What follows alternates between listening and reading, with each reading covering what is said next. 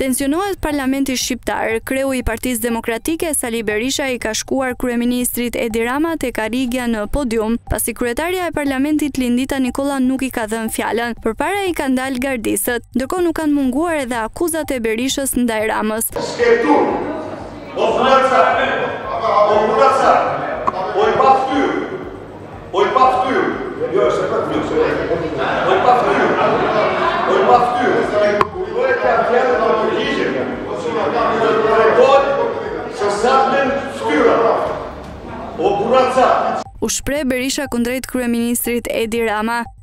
Ndërkohë Garda e Republikës ka ndërhyrë për të mos patur përplasje fizike mes tyre. Protesta e shtatë korrikut ka rritur kuotat e Berishës dhe ka krijuar gjendje zjarri në opozitë, e cila ka premtuar se në shtator do ta kthejë Tiranën si Sri Lanka.